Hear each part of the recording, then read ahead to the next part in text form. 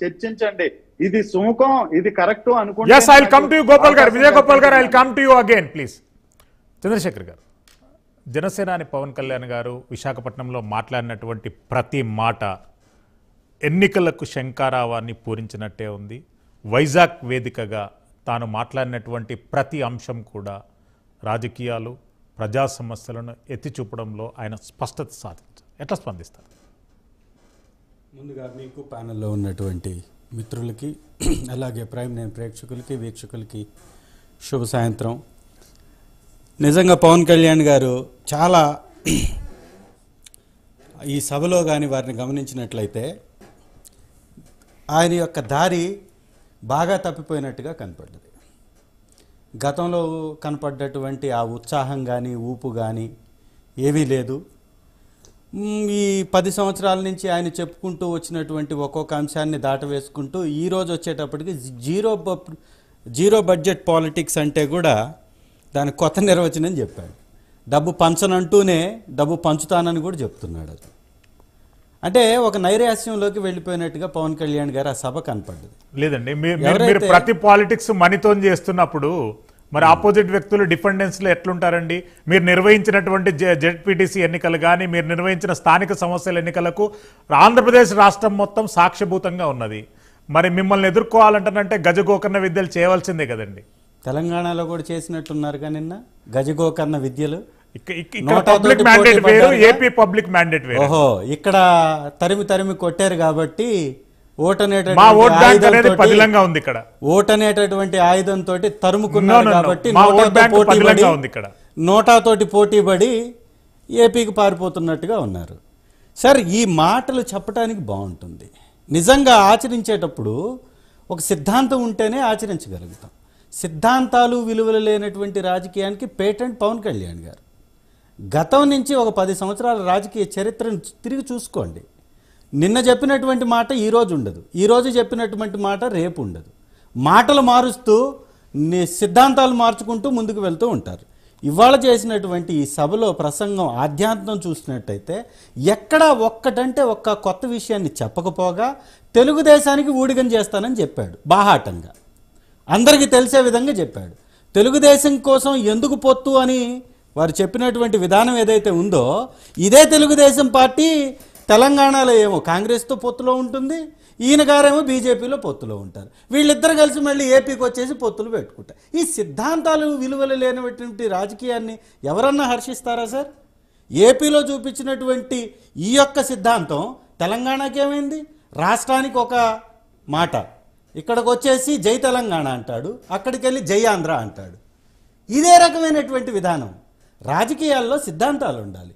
దేశం ఒకటి చేయాల్సినటువంటి బాధ్యత రాజకీయ నాయకుల మీద ఉంటుంది. రాజకీయాల్లో ఒక రాష్ట్రానికి వచ్చేసి ఒక విద్వేషకరమైనటువంటి వ్యాఖ్యలు చేస్తూ ఇంకొక రాష్ట్రానికి వెళ్ళేసి ఇంకొక రకమైనటువంటి వ్యాఖ్యలు చేయడం అనేది అది సిద్ధాంతం అనిపించుకో సార్. రెండవది వీరేం మాట్లాడారు సార్? తెలుగుదేశం వాళ్ళు మాట్లాడినా జనసేన వాళ్ళు మాట్లాడినా ఎవరు మాట్లాడినా మూడే మూడు వ్యాఖ్యలు.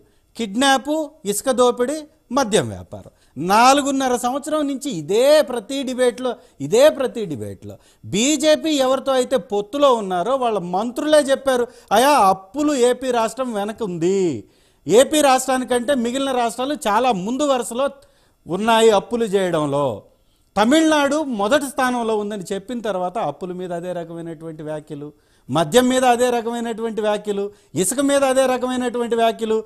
గతంలో Chandrababu Naidu Janasena party BJP party ముగ్గురు కలిసినటువంటి ప్రభుత్వం ప్రభుత్వ ఖజానాకి ఎంత జమ చేసిందో ఇసుక ద్వారా. ఇవాళ అంతకి డబుల్ కాదండి వంద రేట్లు ఎక్కువ. రూపాయి ఖజానాకి జమ చేయకపోతే తెలుగుదేశం ప్రభుత్వం ఇవాళ నాలుగు వేల కోట్లు ఇసుక ద్వారా ప్రభుత్వ ఖజానాకి జమ అవుతుంది. మద్యం ద్వారా డబల్ జమ అవుతుంది. సేల్స్ ఏమో గణనీయంగా సగానికి తగ్గిపోయాయి. షాపుల సంఖ్య గణానికి సగానికి తగ్గిపోయాయి. దాంతోపాటుగా అనేక విషయాల్లో ఏపీ రాష్ట్రం ముందంజలో ఉంది. దీన్ని చెప్పుకోవడానికి ఏదో ఒక రకమైనటువంటి గణాంకాలతో మాట్లాడితే మిమ్మల్ని హర్షిస్తారు తప్ప ఇలా ఊకదంపుడు ఉపన్యాసాల వల్ల ఉపయోగమే లేదు. మేమేమంటున్నామంటే సార్ విశాఖ వలసలు జరిగాయని ఏదో ఒక కొన్ని మాటలు వారు మాట్లాడారు. ఏదో ఎయిర్పోర్ట్లో మేము నిలబడి ఉంటే మీరు ఎన్ని అవాస్తవాలు వినండి. చంద్రశేఖర్ గారు సార్ కాదండి కాదండి కాదు పదమూడు జీవనదులు ఉన్నటువంటి ఉత్తరాంధ్రలో ఇంతవరకు ఒక్క గంటెడు నీళ్ళను కూడా ఉపయోగానికి జగన్మోహన్ రెడ్డి గారి ప్రభుత్వం ఉపయోగించలేదు. మీరు ఏ బేస్తో రాజధాని నిర్మిస్తారు?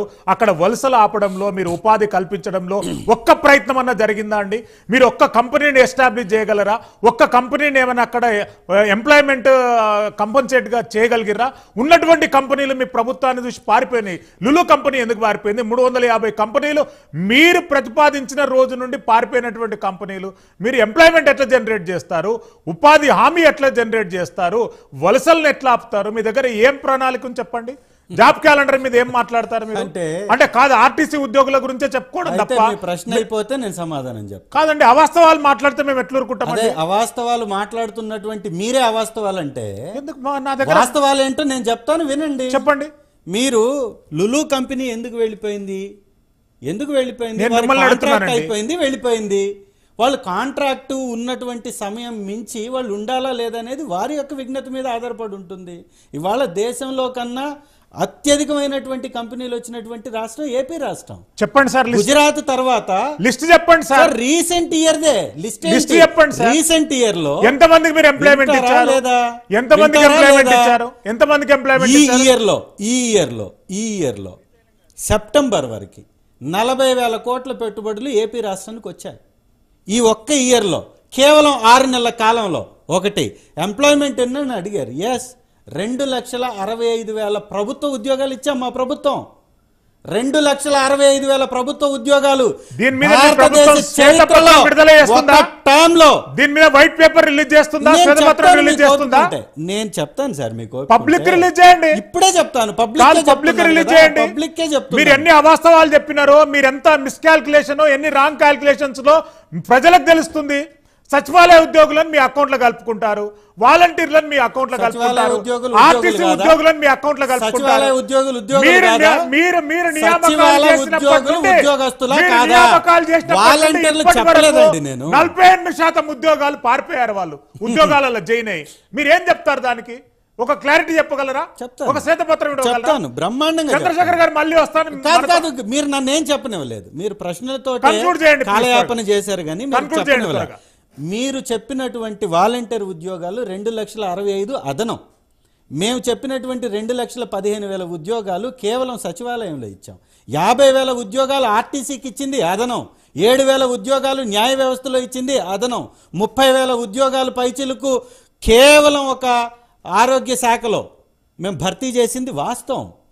దాంతోపాటుగా మూడు వేల ఏడు వందల ఉద్యోగాలు న్యాయ వ్యవస్థలో ఇచ్చాం. ఇవన్నీ మేము ఇచ్చినటువంటి ఉద్యోగాలు. ఇవన్నీ కలుపుకుంటే దాదాపు ఐదు లక్షల ఉద్యోగాలు. ఇవి కాకుండా భారీ మధ్యతరగతి మధ్య మరియు చిన్న ఎస్ఎం ఏమంటారు వాటిని చిన్న వ్యవస్థలు ఏవైతే ఉన్నాయో వాటన్నిటిని కలుపుకొని దాదాపుగా మూడు. లక్షల ఎంఎస్ఎంఈ ఎంఎస్ఎంఈ ఎంఎస్ఎంఈలు మొత్తం కలిపి దాదాపుగా మూడు లక్షల ఉద్యోగాలు పైచిలకు కేవలం రీసెంట్ కాలంలో ఇచ్చాం. ఇవన్నీ గణాంకాలండి. ఆర్బీఐ చెప్పినటువంటి లెక్కల ప్రకారం. ఆగండి సార్.